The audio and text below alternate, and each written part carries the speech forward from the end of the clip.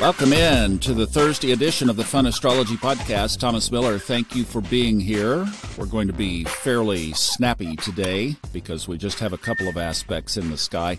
But I do have a couple of quick announcements I'd like to run by you. First of all, this is the last day. I know you've been listening to the promos, but it is the last day for the free audiobook by Bob Proctor.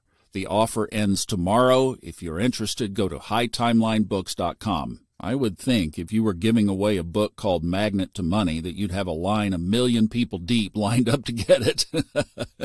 so if you haven't visited there, go there and check out the details. It's right at the top with Michele Blood's new video book. You buy one, you get the other. Second new thing we're doing, February 10th. That's going to be a Saturday at 4 p.m. Eastern. So those of you in Australia, that's going to be early Sunday morning we are doing a live horary practicum with Robert Glasscock. This is free to our horary course participants. If you're not in the horary course and you want to check it out, you want to hear more about what horary astrology is about, and you want to ask even a question, what we're going to do is create a waiting list. So if we fill up with course people, then we're going to stay with that.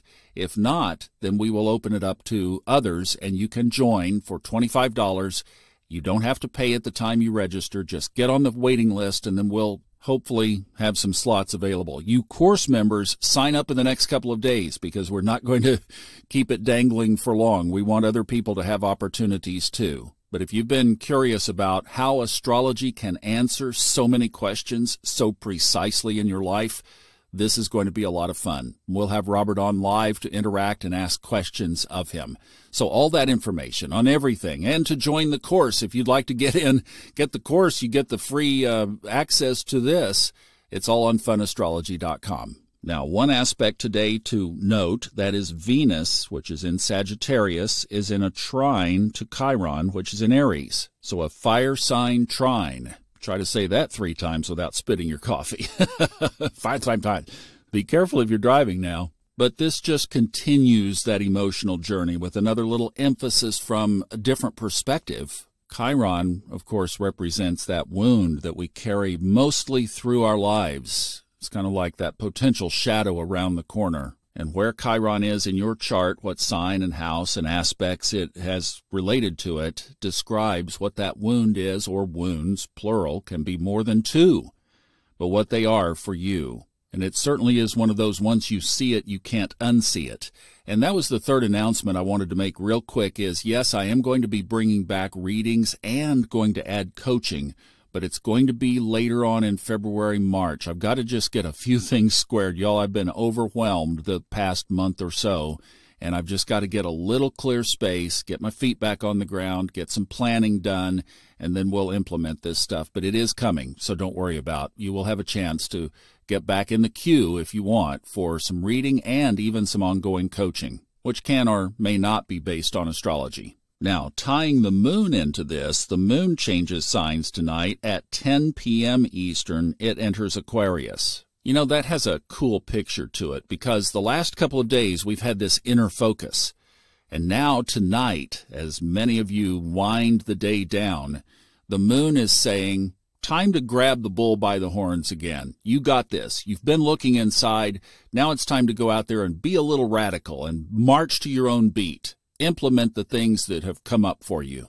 Dare to take these next couple of days as we enter the weekend and implement some radical new changes in your spiritual life. Maybe there was just one. I like to do bite sized, right? You just take a, hey, let's just nibble on this a little bit at a time. Something has come up over the last couple of days. Work that into your life. Now, we have another fiery aspect that we need to mention that happens tomorrow, so we're in it today. It's applying today. It's moving toward it today. It's growing as we speak. And that is that at 541 tomorrow morning Eastern, Mars trines Jupiter. Now that's an Earth sign trine because Mars is in the early stages of Capricorn, five degrees, basically six degrees is where this is happening. And it is trining Jupiter at six degrees Taurus. Fire planets, Earth signs. Now, let me just give you an illustration of I've been talking this week about you have to go back and look at your natal chart. And by the way, we had a good discussion in our Facebook group about what apps do you look for if you're an Android user. And basically, the summation of that conversation and what I agree with is time passages, and you can either do the free version or you can decide to upgrade to the pro once you've played around with it a little bit. And Astro Matrix are two really good apps for those of you on Android. And then if you're on the iPhone, I like to add Astro Gold and Time Nomad. But I know there weren't quite as many suggestions for you Android folks, and we don't want you left out. Grab Time Passages, it's free, and then you can also get Astro Matrix, which is also free. And all that money you saved, you can buy the Horary course and join us for free on February 10th. There you go. Hey, well, there's a plan. I think that's in the sky.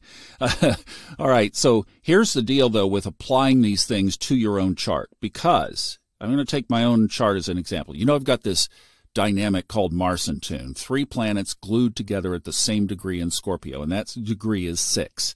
So, yes, for those of you new, you are listening to somebody who has 666 in Scorpio.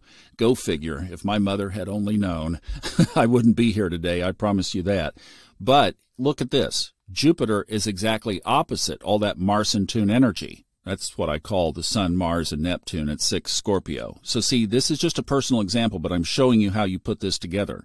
So, Jupiter is across from that. That means Mars in Capricorn is sextile to that. So as we rattle off these aspects every day, you need to click in, oh, wait, that could affect me because here is a trine with power and expansion. And yes, Jupiter is in opposition, but what it's saying is if you will kind of leave some of your natural tendencies and go explore some new territory on the other side of the chart and implement the characteristics of that sign and where that house would show up, then you've got the cosmic rabbit's foot and the cosmic rocket fuel at your disposal. And that's basically what we're looking at here. Mars is happy in Capricorn. Jupiter's not doing so bad in Taurus. That certainly relates to money. So there is a money element about this. There's a love element about this. There's a stability element about this. There's a new project element about this. And I just blew that this was going to be a short episode.